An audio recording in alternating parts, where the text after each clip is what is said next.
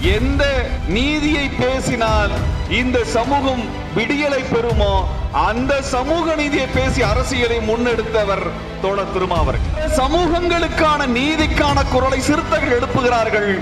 காரணம் தோழர் திருமா அவர்கள் அதை அடையாளப்படுத்தி முன்னகர்த்துகிறார் இந்த தேர்தலுக்கு முன்பு சிறுத்தைகளையும் தமிழ்நாட்டையும் இந்த அரசியலுக்கு தயார்படுத்தியவர் தோழர் திருமா அவர்கள் தமிழ்நாட்டுல இந்த சாதி மதவெறி அரசியல் எடுபடாது என்பதை வாக்காளர்கள் நிரூபித்து விட்டார்கள். தமிழ்நாட்டினுடைய இந்த வாக்காளர்கள் ஜனநாயகத்தை விரும்புகிறார்கள்.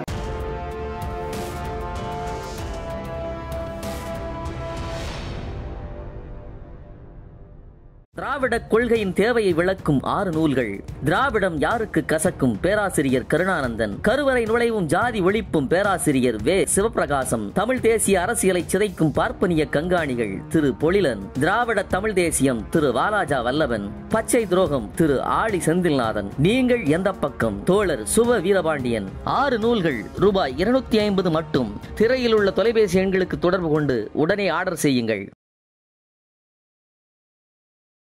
எழுச்சி தமிழரனுடைய பிறந்த நாளை வேறு எப்படி கொண்டாடி விட முடியும்?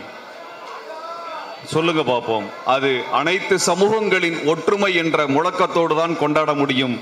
அப்படியாகத்தான் இந்த விழா ஒருங்கிணைக்கப்பட்டிருக்கிறது. ஒரு தலைவருடைய பிறந்த நாளில் கேக்கு வெட்டுறதோ தோரணம் கட்டுறதோ முக்கியமில்லை. அந்த தலைவர் எந்த அரசியலுக்காக போராடி கொண்டிருக்கிறாரோ அதை நாம் எல்லாரும் பேசணும் என்பதுதான் அந்த பிறந்த நாளை கொண்டாடுவதோட சிறப்பு. அதாவது கொஞ்ச நாளைக்கு முன்னாடி ஏழு எட்டு வருஷத்துக்கு முன்னாடி தலித்துகள் அல்லாத சமூகங்களினுடைய ஒற்றுமைன்னு உருவாக்க முயற்சி பண்ணாங்க. விடுதலை சிறுத்தைகளை தனிமைப்படுத்தி அவங்கள தேர்தலில் இருந்து அப்புறப்படுத்திட்டு பிற சாதிகளை எல்லாம் சேர்த்து ஒரு பெரிய அரசியலை உருவாக்கிட முடியும் நினைச்சு ஒன்று உருவாக்குனாங்க. சாதி வரியை வளர்த்து விட்டார்கள். அந்த வெறியின் அடிப்படையில் உருவாக்கிய அந்த கூட்டமைப்பின் அடிப்படையில் முதலமைச்சர் ஆயிரலாம் நினைச்சாங்க. இன்னைக்கு ஊராட்சி தேர்தலில் கூட அவர்களால் வெற்றி பெற முடியாத நிலையை உருவாகி இருக்கிறது கடந்த பத்து வருஷத்துல தமிழ்நாட்டுடைய அரசியல் எப்படி மாறிட்டு இருக்குன்னு பாருங்க. இந்த பத்து வருட அரசியல் மாற்றத்தை சாத்தியப்படுத்தியவர் மரியாதைக்குரிய தோழர் திருமா அவர்கள் அதனால தான் அதை அந்த பத்து வருஷ நான் இது வந்து ரொம்ப நீண்ட கால அரசியல். ஆனால் பத்து வருடத்தில் கடுமையான எதிர்ப்பை சிறுத்தைகள் எதிர்கொண்டார்கள். ஒரு புறத்துல எல்லா ஜாதியையும் திரட்டி சிறுத்தைகளுக்கு எதிராக நிறுத்திடலாம் நினைச்சு முயற்சி பண்ணார்கள். வன்முறைக்கு தூண்டினார்கள். கொச்சைப்படுத்தினார்கள். ஒரு பெரிய சாதி கூட்டத்தை உருவாக்கி காட்டினார்கள். அது வெற்றி பெறவில்லை. அதை சிறுத்தைகள் வீழ்த்தினார்கள் தோழ திருமா அவர்களுடைய தலைமையில. அப்பதான் வெறுமன சாதி பெருமை எல்லாம் பேசி தேர்தலில் வெற்றி பெற்று விட முடியாது. எந்த நீதியை பேசினால் இந்த சமூகம் விடியலை பெறுமோ அந்த சமூக நீதியை பேசி அரசியலை முன்னெடுத்தவர் தோழ திருமா அவர்கள் இந்த பத்து வருடத்துல அதாங்க அரசியல். விடுதலை சிறுத்தைகளுக்கு வந்து பின்னாடியில பெரிய சக்திகள்லாம் கிடையாது. பெரும் பணக்காரர்கள் கிடையாது. பெரும் ஆண்ட சாதிகள் கிடையாது. எளிய நீங்கள் தான் இருந்து இந்த கோபுரத்தை கட்டி எழுப்பினீர்கள். இந்த சமூகத்துல இந்த தமிழ்நாட்டுல இப்படியெல்லாம் பின்னணி வைத்து அது பாரம்பரியமாக ஜமீன்தாராக இருந்தவர்கள் பண்ணையாராக இருந்தவர்கள் பெரும் முதலாளிகளாக இருந்தவர்கள் உயர் சாதிகளில் இருந்தவர்கள் ஆதிக்க சமூகத்தில் இருந்தவர்கள் வெளிநாடு சென்று படித்து வந்தவர்கள் இவங்க எல்லாம் சேர்ந்து உருவானாதான் கட்சி. அவர்கள் தான் ஆட்சிக்கு வர முடியும் என்ற நிலையை உடை தெரிந்துவிட்டு சாமானியர்கள் எல்லாம் இணைந்து ஒரு அதிகாரத்தை நோக்கிய திரட்சியை விடுதலை சிறுத்தைகள் உருவாக்கியதற்கு காரணம் தோழ திருமா அவர்களினுடைய அந்த தொலைநோக்கு பார்வை. தொலைநோக்கு பார்வை. இன்னைக்கு தமிழ்நாட்டுல சாதியை வைத்து வெற்றி பெற்று விட முடியுமா? அல்லது மதத்தை வைத்து வெற்றி பெற முடியுமா? இல்ல போலியா கூச்சல் போட்டு வெற்றி பெற முடியுமா? அப்படின்னு பல பேர் முயற்சி செய்து கொண்டிருந்தார்கள். ஆனால் எந்த கவர்ச்சிகர பேச்சையும் பேசாமல் அரசியலையும் அதனூடாக அறிவையும் புகட்டி ஒரு வெற்றியை கொண்டு வந்து விட முடியும் என்று தோழர் திருமா அவர்கள் நிரூபித்திருக்கிறார்கள். இது வந்து ஏதோ நம் பாராட்டை பேசி கை தட்டி விட வாங்கி விட வேண்டும் என்பதற்காக நான் பேசல. யோசிச்சு பாருங்க அவர் பேச ஆரம்பித்தார் ஒரு பல்கலைக்கழகத்தினுடைய பேராசிரியர் போல அந்த உரை இருக்கும். உங்களோட பிரச்சனையெல்லாம் நான் தீர்த்து விடுவேன். இது என் கையில சிக்கிச்சு அது என் கையில வந்துச்சுன்னா சொல்லலை. நாம் எல்லாம் ஒன்று திரள வேண்டும். சமூக நீதியை பேச வேண்டும். சாதியை ஒழிக்க வேண்டும். மதவெறியை மாய்க்க வேண்டும் என்கின்ற முழக்கத்தின் மூலமாக தமிழ்நாட்டில் ஒரு மாபெரும் வெற்றியை தோழ திருமா அவர்கள் சாத்தியமாக்கி இருக்கிறார்கள் அதாவது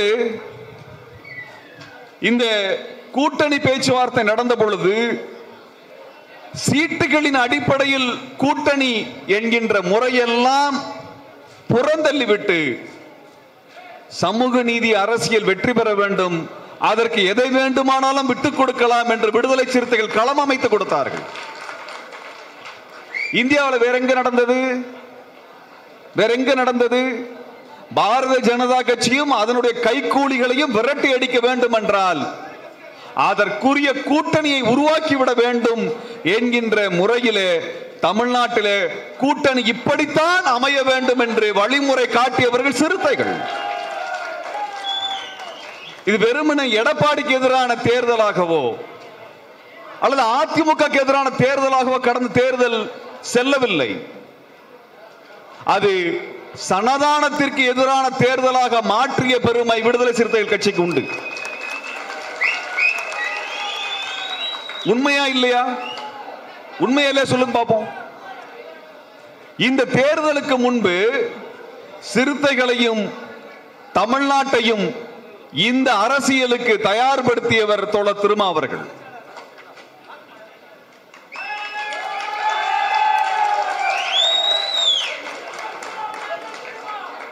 அப்ப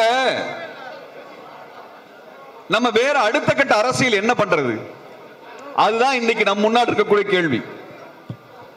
தாய்மார்களே பெரியோர்களே அன்பானவர்களே இன்றைக்கு தமிழ்நாட்டினுடைய அரசியல் தலைவிதியை முடிவு செய்கின்ற இடத்தில் நீங்கள் இருக்கிறீர்கள் என்பதை மறந்து விடாதீர்கள்.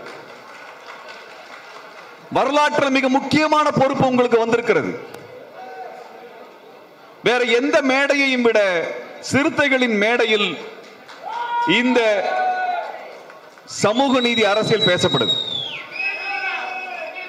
இன்னைக்கு சமூக நீதி அடிப்படையில் தமிழ்நாட்டு அரசியலை முன்னெடுத்து செல்ல வேண்டிய பொறுப்பு சிறுத்தைகளுக்கு மட்டும்தான் இருக்கிறது. அதற்குரிய அரசியல் தலைமை அவர்களுக்குத்தான் இருக்கிறது. ஆகவே தோழர்களே ஒரு பக்கம் மதவெறி இன்னொரு பக்கம் சாதி வெறி. இந்த ரெண்டையும் சரியான தலைமை கிடைத்தால் தமிழ் மக்கள் நிராகரித்து விடுவார்கள் என்பதுதான் தேர்தல் வெற்றிகள் விடுதலை சிறுத்தைகள் மூலமாக வெளிப்படுத்திக் கொண்டிருக்கிறார்கள்.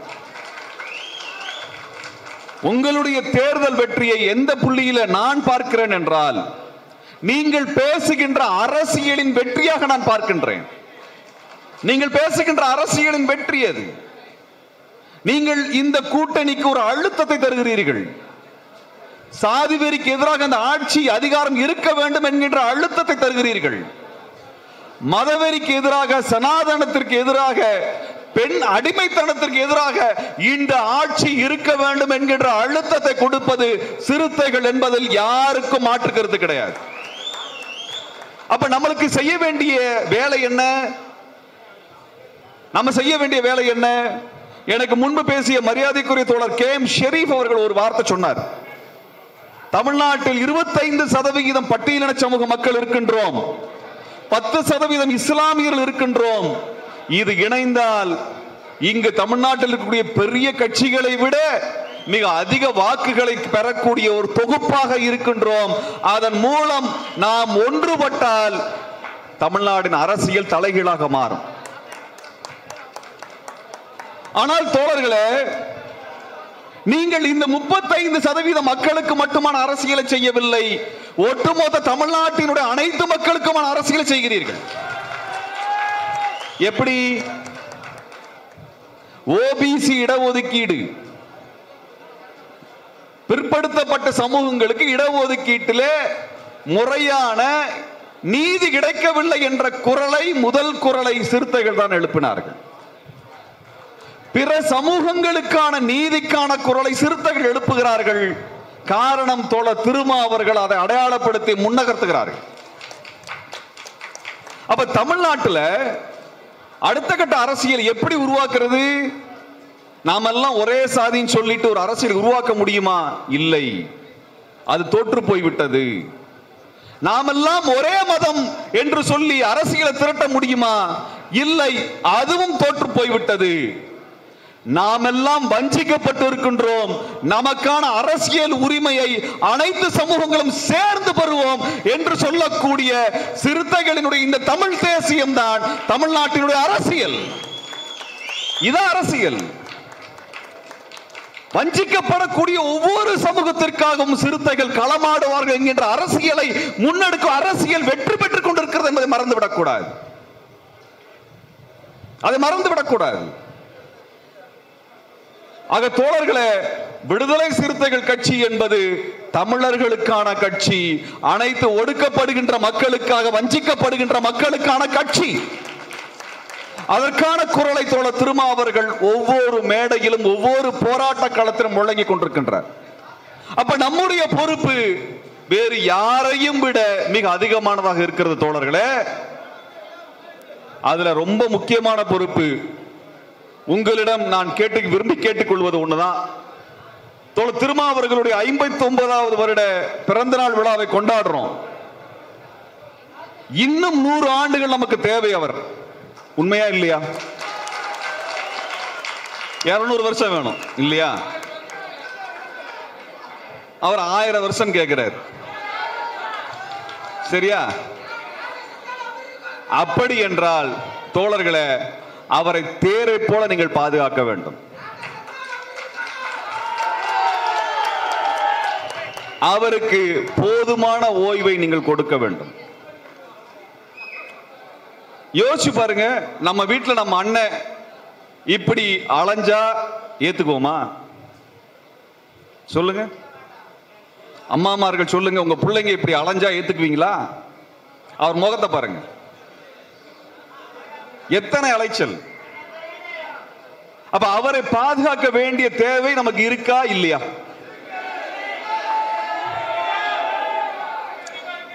அப்ப அவர் தேரா இருக்கட்டும் அதை இழுக்கின்ற வடமாக நாம் மாற வேண்டும். இல்லையா? தோழர்களே இத்தனை ஆயிரம் ஆண்டுகள் கழித்து அதிகாரத்தை நோக்கி முன்னகர்வதற்கு அடித்தட்டு மக்களுக்கான வழியை அவர் ஏற்படுத்தி கொண்டு கொண்டிருக்கிறார். அவர் உருவாக்கிட்டு இருக்கிறார்.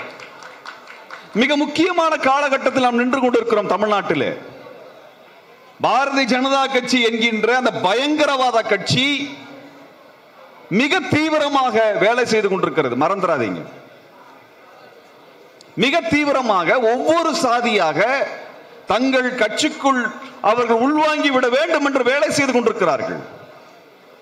அதை எதிர்த்து போராடுவதற்கு நீங்கள் தான் இருக்கிறீர்கள் மறந்துவிடக்கூடாது. நீங்கள் தான் இருக்கிறீர்கள்.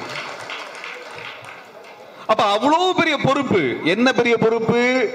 அனைத்து சாதிகளையும் இந்த மதவெறி கும்பலில் இருந்து பாதுகாக்க வேண்டிய பொறுப்பு நாம் அனைவருக்கும் இருக்கிறதா இல்லையா என்பதை நீங்கள் உணர்ந்து பார்க்க வேண்டும். மே பதினேழு இயக்கம் முதன் முறையாக இந்த தேர்தலிலே பிரச்சாரத்தில் களமிறங்கினோம் நாங்கள். பிரச்சாரத்தில் களமிறங்கினோம் நாங்கள். காரணம் இந்த கூட்டணி என்பது சனாதனத்துக்கு எதிராக கூட்டணி என்று முழங்கிய தோழ திருமா அவர்களுடைய குரல் அந்த அரைகூவல் அப்ப எல்லோரும் இந்த சனாதனத்தை வேரோடும் வேரடி மண்ணோடும் அறுத்து தூக்கி போடணும். மிகச் சிறப்பான வேலையை சிறுத்தைகள் செய்தார்கள். தமிழ்நாட்டிலே நம்முடைய கொடியை நட முடியலனா எவன் கொடி நடக்கூடாது?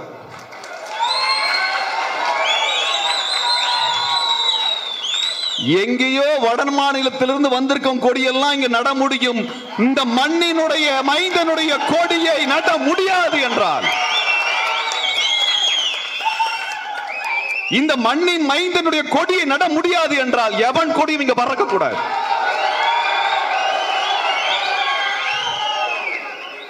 நாம் வன்முறையை பேசவில்லை நியாயத்தை பேசுகின்றோம் நீதியை பேசுகின்றோம் ஜனநாயகத்தை பேசுகின்றோம். தமிழ் மண்ணுக்கு சொந்தமில்லாதவன் கொடியெல்லாம் இந்த மண்ணில பறந்து கொண்டிருக்கலாம். ஆனால் தமிழ் மண்ணிற்காக போராடக்கூடிய எமது கொடி இந்த மண்ணில் இல்லை என்றால் அது எப்படி ஜனநாயகமாக மாறிவிடும் தோழர்களே? சொல்லுங்க. நமக்கு சம்பந்தம் இல்லாத காவி நிற கொடியெல்லாம் இந்த மண்ணில பறந்து கொண்டிருக்கிறது. இங்கே கருப்பு சிவப்பு நீலம் இந்த கொடி தான் பறக்கணும். இந்த குரல் தான் ஒழிக்க வேண்டும். இந்த அரசியல் தான் இந்த மண்ணின் அரசியல். நாங்கள் தேர்தலில் பங்கெடுக்கக்கூடிய அமைப்பு அல்ல. ஆனால் தேர்தல் நீங்கள் இருக்கிறீர்கள் நீங்கள் முன்னகர்ந்து செல்லுங்கள். உங்களோடு நாங்கள் இருக்கிறோம். அது தோழர்களே சமூக நீதி சமூகங்களின் ஒற்றுமை ரொம்ப முக்கியம். மிக கவனமாக தேர்ந்தெடுக்கப்பட்ட தலைப்பு. நான் சமீப காலத்தில் பார்த்த அரசியல் மேடை தலைப்புகளில் அறைகூவலில் மிக முக்கியமான தலைப்பாக தலைப்பை பார்க்கிறேன். ஏனால் இந்த சமூகங்களுக்குள் ஒற்றுமை வரக்கூடாது என்று பாரதிய ஜனதா கட்சி விரும்புகிறது. பாரதிய ஜனதா கட்சி விரும்புகிறது. இங்கே ஒன்றுக்கு ஒன்று முரண்படுகின்ற ஜாதிக்கெல்லாம் அவன் தலைவனா இருப்பானாமா? இந்த சாதிக்கும் அவன் தலைவன் இதோடு முரண்படுகின்ற அந்த சாதிக்கும் அவன் தலைவன் என்கின்ற அரசியலை வைத்துக் கொண்டிருக்கின்றான். யாரு? இந்த மண்ணுக்கு சொந்தம் இல்லாமல் நாகப்பூர்ல இருந்து இங்கே வந்த கும்பல். நாகப்பூர்ல இருந்து இங்க வந்து வட மாநிலத்திலிருந்து வந்திருக்க கும்பல் அந்த அரசியலை செய்ய முடியினால் இந்த மண்ணினுடைய மக்களாகிய நாம் அந்த சதியை உடைத்தெறிந்து விட்டு அனைத்து சமூக நீதியை ஒன்றுபடுத்துகின்ற அரசியல் அதன் மூலமாக சமூகங்களில் ஒற்றுமை சாத்தியப்படுத்த அரசியல் நமக்கு தேவை. அப்ப இது எப்படி சாத்தியப்படுத்த முடியும் என்றால் இந்த முழக்கத்தை தோழர் முன்வைத்து விட்டார். தோழர் முன்வைத்து விட்டார். இந்த தலைப்புகள் மூலமாக பல்வேறு கருத்துக்கள் பல ஊர்களில் பகிரப்படுகின்றன சிறுத்தைகளின் மேடைகளில். காரணம் என்ன?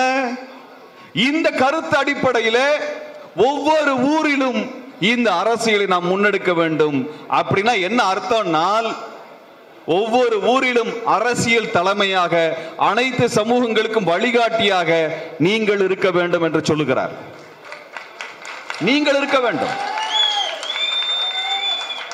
இந்த ஊர்ல இந்த நகரத்துல எங்க தெருல யாருக்கு அநீதி நடந்தாலும் சிறுத்தைகள் முன்களத்தில் நிற்பார்கள் என்பதைத்தான் அவர் சொல்லிக் கொண்டிருக்கின்றார். குடியுரிமை சட்டத்திற்கு எதிரான ஒரு மாபெரும் ஊர்வலம் இந்தியாவிலேயே சிறுத்தைகள் மட்டும்தான் செய்து காட்டினார்கள். நீங்க நல்லா கவனிச்சு பாத்தீங்கன்னா தெரியும் அந்த ஊர்வலத்துக்கு பின்னாடி ஒரு சங்கியும் வாய் திறக்கல. எல்லாம் வாய மூடிட்டு உட்கார்ந்தான் அதே போல கல்வியை தனியார் மயப்படுத்தக்கூடாது என்கின்ற மாபெரும் மாநாட்டையும் சிறுத்தைகள் தான் காட்டினார்கள்.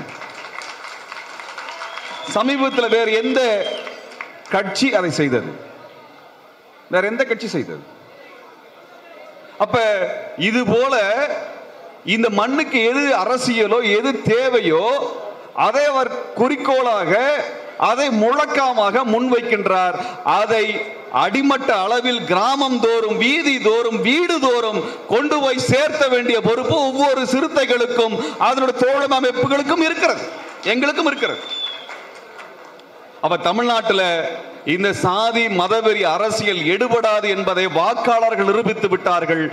வாக்காளர்கள் தமிழ்நாட்டினுடைய இந்த வாக்காளர்கள் ஜனநாயகத்தை விரும்புகிறார்கள்.